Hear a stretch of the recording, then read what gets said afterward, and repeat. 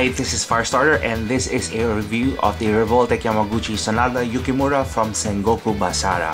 So, uh, Sanada comes with a standard Revoltech box but I know you're not interested about it so let's take a closer look on the Crimson Demon of War. Although some may complain that the overall position of this figure doesn't capture the anime series, but it is actually the MMORPG that inspired in creating this figure. Even though Sengoku Basara is set in the Edo era, the overall flaming costume design is an over-the-top take on the Warring States period of Japanese history. What you're looking at is the base form when you take out the figure out of the box. So to complete, you need to peg on the flowing rat tail and the headband at the back of his head. There is a small hinge at the bottom, so it gives you an ample room to fasten the bandana and the hairpiece. As for the interchangeable hands, sadly, he only has two holding hands to hold the cross spears. The shafts consist of red and brown portions and ends with brass colored rings. Both ends have this white translucent peg to accommodate the blades. And there is a combined version of the shaft which accepts the blades on both ends. Only this version has an issue because with this on, you can easily flick the wrist from left to right. Just like most anime representations in this toy line, this figure also includes an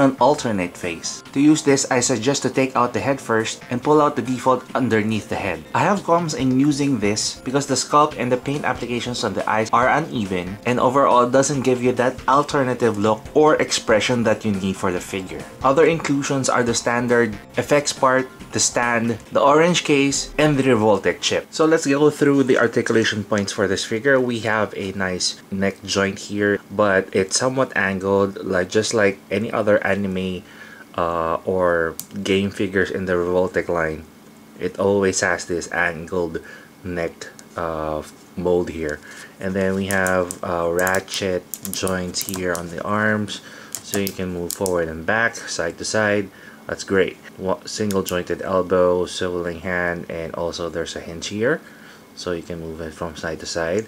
A waist area although he doesn't have doesn't have a upper joint here but uh, you can the washboard abs as you know as you can see here is highly sculpted.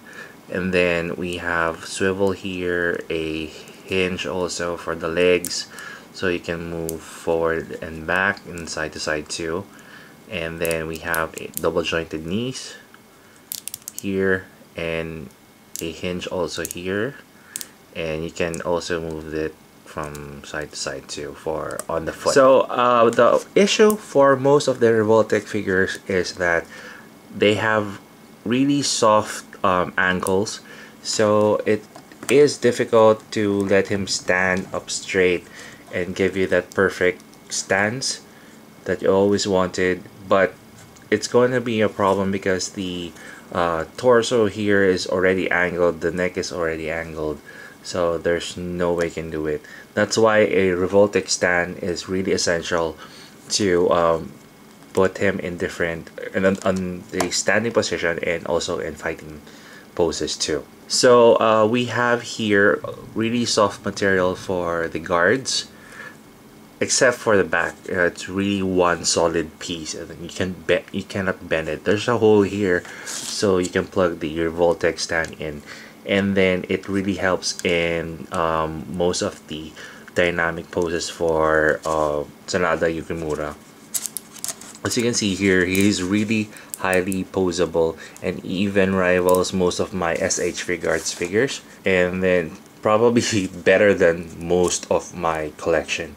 So I'm really happy about the possibilities for um, Sanada Yukimura. Uh, it took me a while before I can find one because it's really rare as of this post. Luckily, I got this for 20 bucks together with Date, uh, Date Masamune so it's a really good pair to have for just 20 bucks someone needs to throw away this figure so I uh, opted to buy both because this and Date Masamune are the essential um, figures that you need in Sengoku Basara so that's all you need to know about the figure Overall, this figure represents what Revoltech is all about. This figure really has a high posability, very effective sculpt, and highly detailed weapons to end. For just 20 bucks, he is really worth your every penny and probably even more. He is almost perfect if not for that bad looking alternate face. And that is my review of the Revoltech Yamaguchi Sengoku Basara's Sanada Yukimura